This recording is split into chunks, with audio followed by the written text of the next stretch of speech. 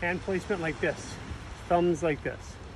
What we're doing, we're putting the hands at the back of the, the neck and and you're grabbing your neck and pulling it up and push your elbow forward.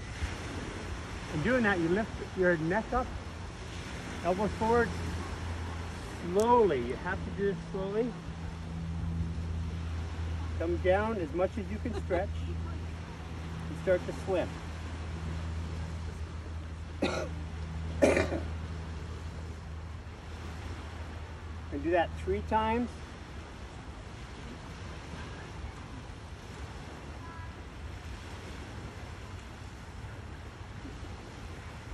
Come back to center.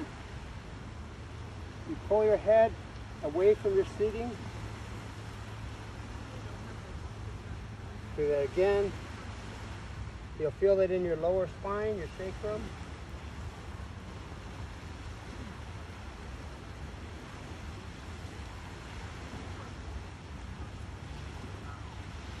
If you can, extra credits, you go like this and breathe.